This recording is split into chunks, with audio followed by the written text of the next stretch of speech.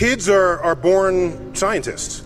They're always turning over rocks and plucking petals off of flowers. They're always doing things that, by and large, are destructive. And uh, no, that's what exploration kind of is. If you, you take stuff apart, whether or not you know how to put it back together, this is what kids do. A, an adult scientist is a kid who never grew up.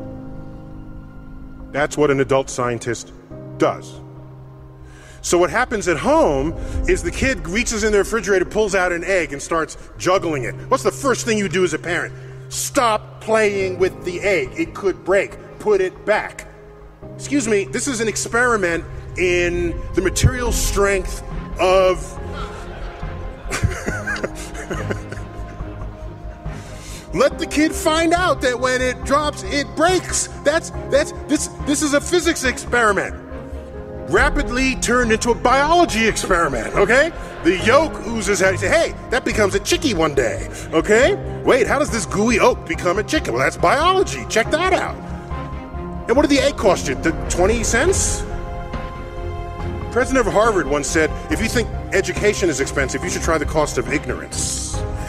So we don't have enough parents who understand or know how to value the inquisitive nature of their own kids because they want to keep order in their household.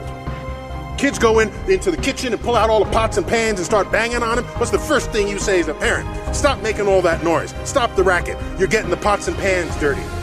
You just squashed an entire experiment in acoustics.